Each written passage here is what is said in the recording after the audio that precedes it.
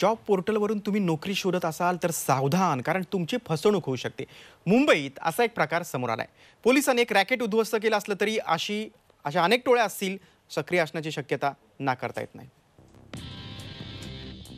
पोर्टलवर तुम्ही dream job शोधत असाल तर स्वतःची माहिती पुरवताना सतर्क राहा कारण तुमची आर्थिक फसवणूक होण्याचा धोका आहे. नोकरी देण्याच्या बहाण्यानं घाटकोपरमध्ये एका महिलेची तब्बल साडेआठ लाखांना फसवणूक झाली आहे. महिलेनं पंतनगर पोलीस ठाण्यात तक्रार केल्यानंतर पोलिसांनी तांत्रिक माहितीच्या आधारे दिल्लीपर्यंत रुजलेली पाळंमुळं खणून काढली आणि पाच जणांना गजाआड केलं. संपर्क साधायचे कॉल सेंटरमार्फत आणि त्यांच्याकडून माहिती तंत्रज्ञानाचा गैरवापर करून त्यांच्याकडून प्राप्त माहिती त्या आधारे त्यांच्या बँकच्या अकाउंटवरून लुबाडणूक करायची. या आरोपींनी आपलं सावज शोधण्यासाठी शाईन डॉट कॉम ॲपचा वापर केला.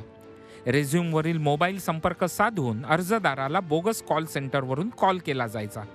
एखाद्या नोकरी संदर्भात बोलता बोलता बँक डिटेल्स काढून घेतले जायचे.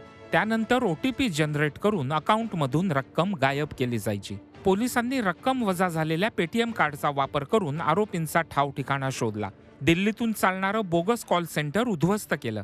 यात अशिक इक्बाल मोहम्मद राहुल तिलकराज रवी ओकला देवेशकर सिंग आदित्य सिंग यांच्या मुसक्या आवळल्या. त्यांच्याकडून आठ हार्ड डिस्क तेवीस मोबाईल सत्तेचाळीस सिम कार्ड बारा डेबिट कार्ड अकरा पेटीएम कार्ड सात डोंगल आणि एक लाख चौऱ्याहत्तर हजार रुपये जप्त करण्यात आलेत. ऑनलाईन जॉब पोर्टलवर बँकेचे डिटेल्स शेअर न करण्याचं आवाहन पोलिसांनी केलंय. आपला ओ टी पी नंबर जो मिळतो तो डेबिट कार्ड नंबर किंवा बँकांचे डिटेल्स कोणी शेअर करू नयेत कोणाशीच.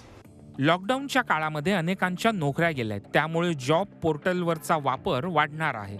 मात्र हे करताना अधिक सावध राहण्याची आवश्यकता आहे. अमोल पेडणेकर झी मीडिया मुंबई.